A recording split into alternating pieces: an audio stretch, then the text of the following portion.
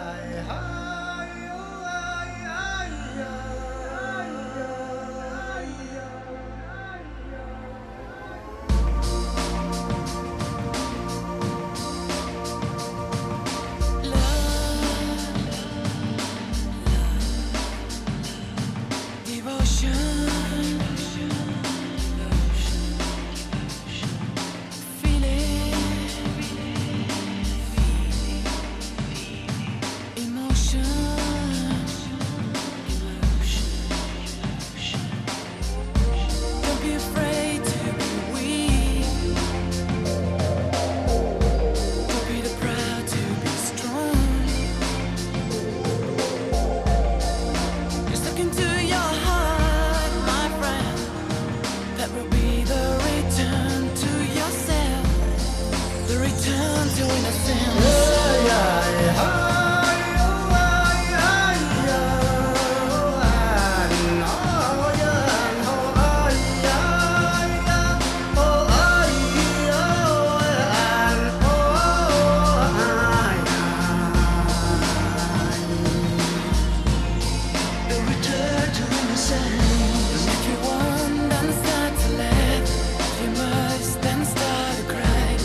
ourselves